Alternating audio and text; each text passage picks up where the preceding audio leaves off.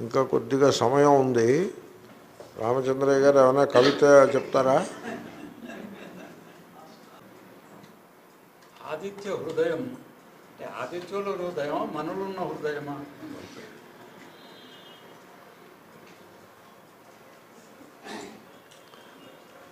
ఆదిత్య హృదయే యస్మిన్ తత్ ఆదిత్య హృదయం. ఆదిత్యుడు హృదయమునందు ఏ స్తోత్రంలో ప్రతిపాదింపబడతాడో దానికి ఆదిత్య హృదయం అని పేరు. ఆదిత్య మండలంలో ఎవరు ఉన్నారు పరమాత్మ ఉన్నాడు. హృదయంలో ఎవడున్నాడు? అదే పరమాత్మ ఉన్నాడు. మళ్ళీ వేరే పరమాత్మ కాదు.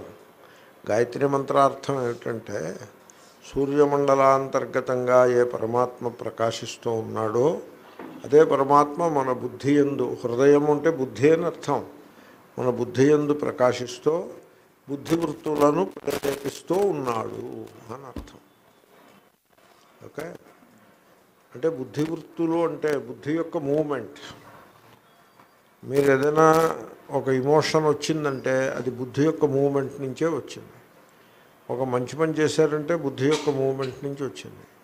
ఇంద్రియములు చూస్తున్నా చెవులు వింటున్నా కళ్ళు చూస్తున్నా ఇదంతా కూడా అల్టిమేట్లీ బుద్ధి యొక్క మూమెంట్ కాబట్టి ఎదురుకుండా మన చేత దర్శింపబడుతూ మనకంటే భిన్నంగా గోచరిస్తూ ఉండే ఆదిత్య మండలాంతర్గతుడైన ఏ పరమాత్మ గలడో ఆయనయే నా హృదయమునందు చైతన్య రూపంగా ప్రకాశిస్తూ బుద్ధివృత్తులను ప్రేరేపిస్తూ ఉన్నాడు.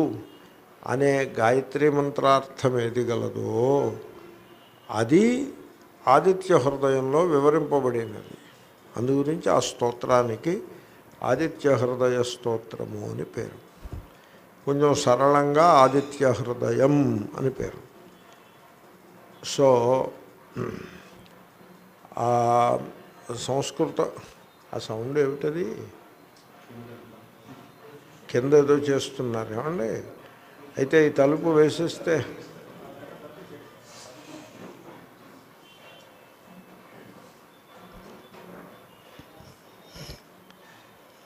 అయితే ఈ పదప్రయోగం ఒక సంస్కృత భాషలో ఆ, విధంగా సమాసం చేస్తే నపుంసకలింగ శబ్దంగా తయారయ్యి అమ్ అని వస్తుంది. ఆదిత్య హృదయం.